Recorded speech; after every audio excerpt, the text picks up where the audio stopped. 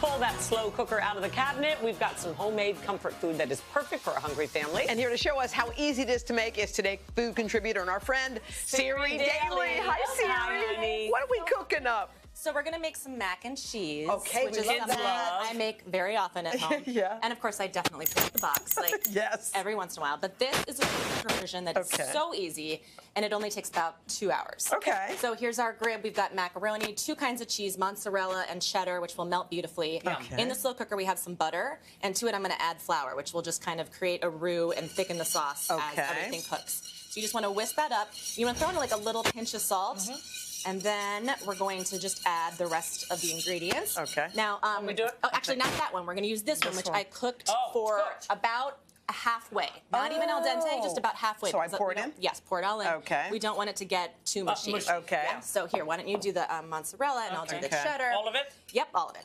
I've never This is heard of actually only it. half of the cheddar.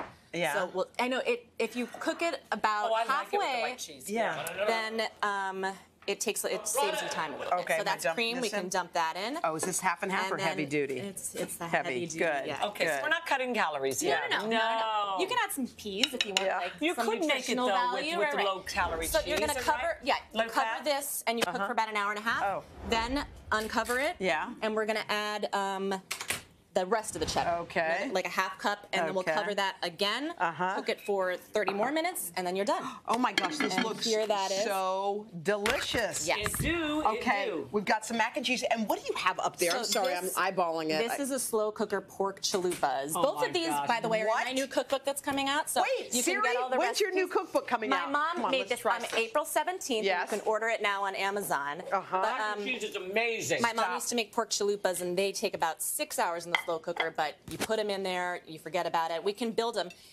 I've refried How are some. supposed um, to eat this? with a tortillas? yeah, well, yeah, You know, you can use a fork. Yeah. Or you can I'm getting a just make a mess. yeah. Um, I take canola oil and just lightly fry these Uh-huh. tortillas, and then you put refried beans. Oh, I'm making a mess just yum. building mine. Looks delicious. Okay. All right, to get this and Siri's pork Ah. recipe, go to today.com slash I can't wait till your book comes Right. out, series. Hello, Today fans. Thanks for checking out our YouTube channel. Subscribe by clicking that button down there and click on any of the videos over here to watch the latest interviews, show highlights, and digital exclusives.